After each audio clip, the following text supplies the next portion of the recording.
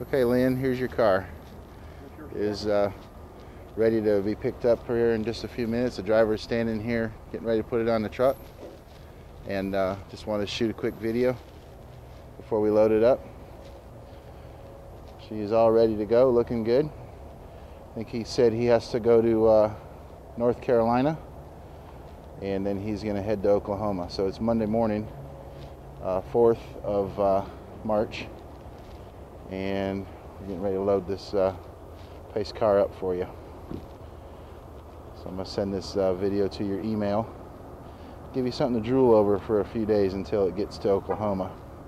Got your temporary tag on the back. I'm going to shoot a few still photos of it being loaded for you as well. And we're going to send it your way.